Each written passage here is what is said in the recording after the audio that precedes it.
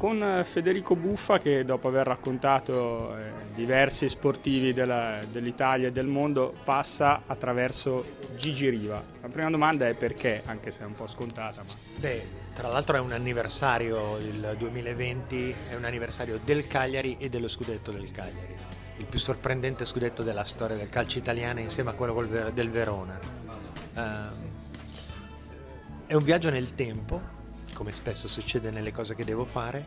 Eh, mi ricordo che Gianni Brera scrisse che quel scudetto del Cagliari mise per la prima volta la Sardegna all'interno della Repubblica Italiana.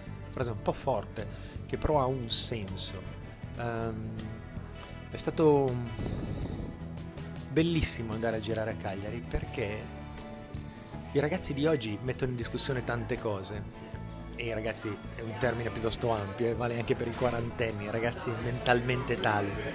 E uno di loro mi ha detto, io una volta mi sono permesso di dire una cosa che non dovevo dire, perché mio padre mi si è girato contro, come dire, non t'azzardare mai più a dire una cosa così su di lui. E il quarantenne comprende che è successo qualche cosa che non si può spiegare, eh, visto con le chiavi interpretative di oggi. L'idea di questa dissertazione su di lui è proprio questa, di provare a far immaginare a un ragazzo di 20 anni di oggi che cosa sia stato questo giocatore nell'Italia di allora e nella Sardegna di allora. È immaginabile nel calcio di oggi che possa arrivare un Riva che dice no a delle offerte stratosferiche per rimanere in una realtà come Cagliari. La quantità di cose inimmaginabili oggi legate a lui è ancora molto più lunga di, di quella principale che è quella che hai appena detto.